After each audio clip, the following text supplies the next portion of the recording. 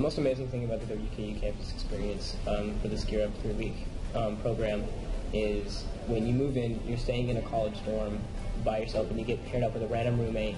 Um, even if it is, if you get that lucky chance of staying with someone from home, you're still getting the feeling of, oh man, I'm moving into a new place I've never been before.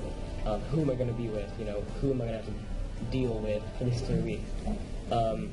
Not only that, once you get to know everything and you're settled in, then they're telling you about the next day on Monday, prepare for your classes just right.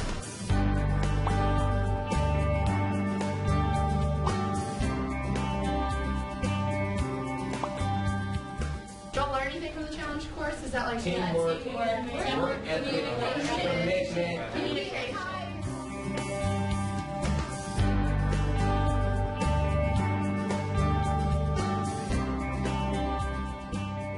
Ideal. Ah, lo sé. Ideal. Repitan, ideal. Ideal. Repitan, ideal. Ideal. Ideal. Ideal. Ok. Chica ideal es.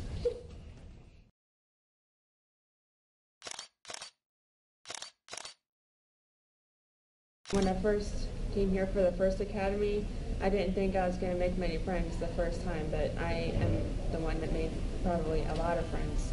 And I am still friends with those people to the day, and they're my best friends. The people that I met has significantly impacted all of my experiences that I've had with the WKU Summer Academy.